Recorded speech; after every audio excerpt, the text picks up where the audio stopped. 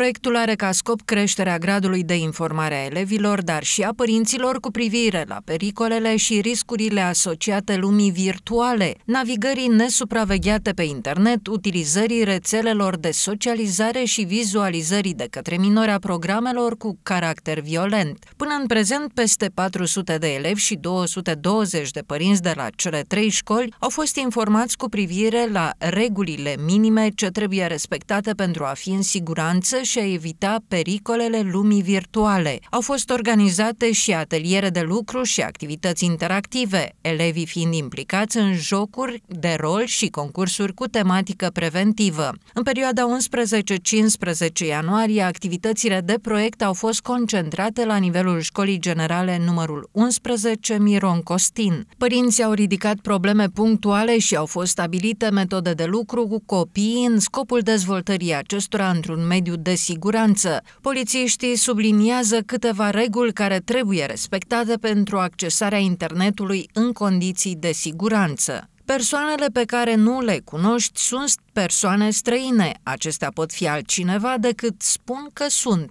Poartă-te frumos cu ceilalți pe internet așa cum o faci la locul de joacă.